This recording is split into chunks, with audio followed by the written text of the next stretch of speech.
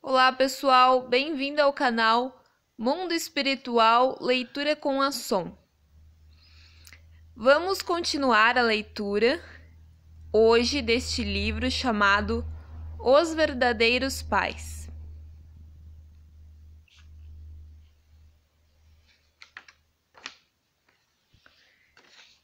Estamos começando a sessão 2 do livro A Fonte do Verdadeiro. E o título de hoje é O Verdadeiro. Se existe alguém verdadeiro neste universo, quem é ele? É o ser absoluto. Em coreano, chamamos absoluto a esse senhor como não existe outro. Abreviado é o único. Assim, Deus é esse Senhor único, como não existe outro.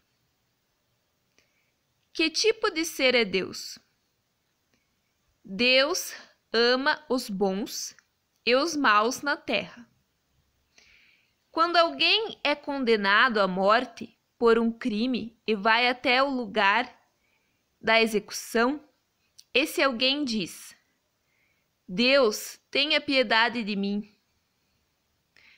Como uma pessoa que será executada por fazer algo mal quer voltar e se apoiar em Deus novamente, dependendo dele e vivendo com ele, determinando-se a iniciar de novo, com outra esperança,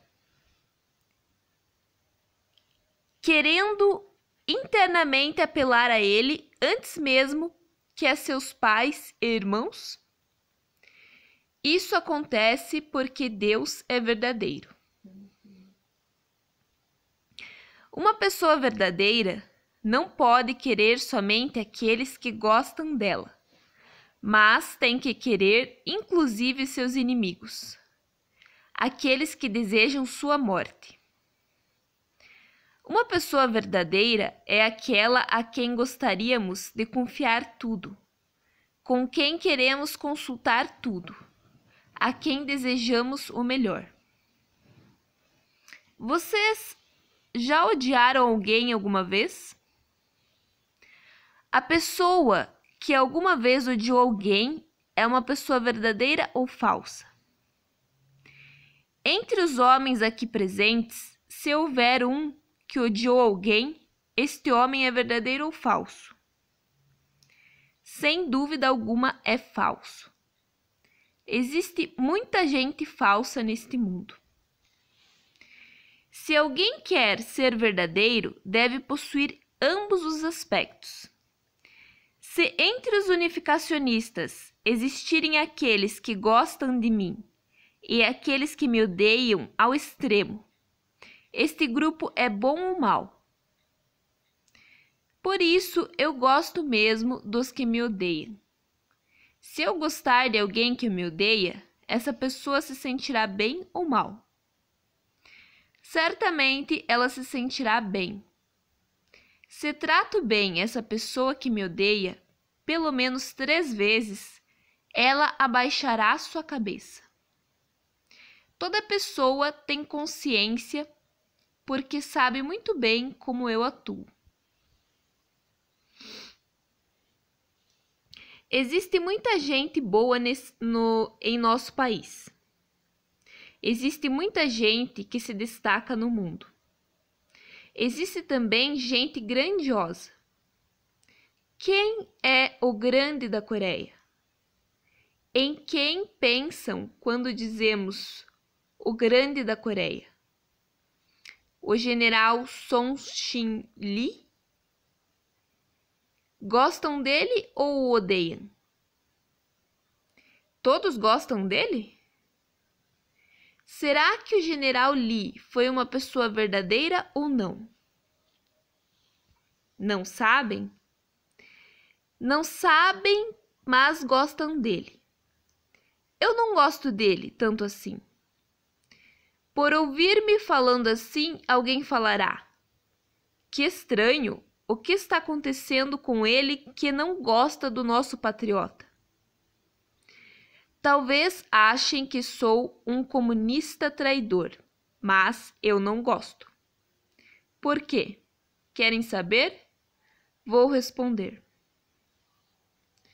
Se mencionamos o general Lee, todos os coreanos o consideram patriota.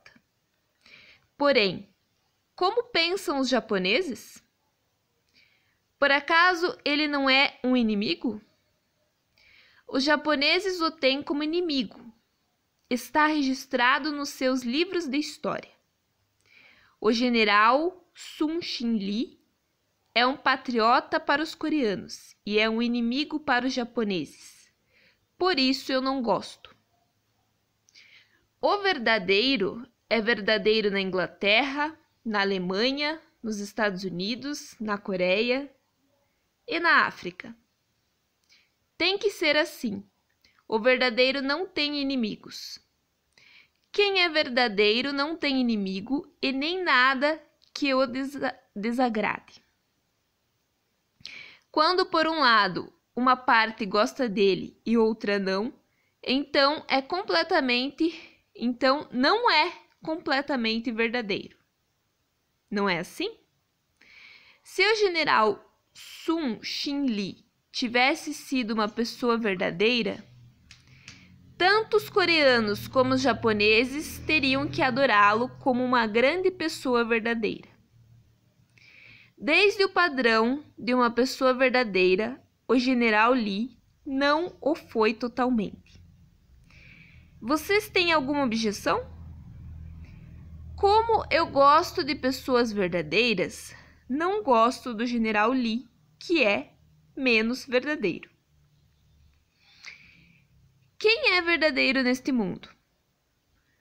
Como lhes falei anteriormente, é aquele de quem gostam os bons e os maus. De quem mais gostam os bons? Tem que ser também a quem mais odeiam os maus? Não deve ser também aquele de quem mais gostam os maus?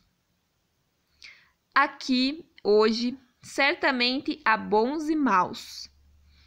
Parecem ter algo em comum Ambos desejam e aspiram o melhor. Todos gostam do melhor. Dizer todos quer dizer que tanto bons quanto maus gostam por igual. Quem não gosta quando lhes dizem que são maus, não são verdadeiros. Esta é a definição de uma pessoa verdadeira, aquela de quem mal, mais gostam, bons e maus. Se existe alguém assim, esse alguém é verdadeiro. Alguma objeção?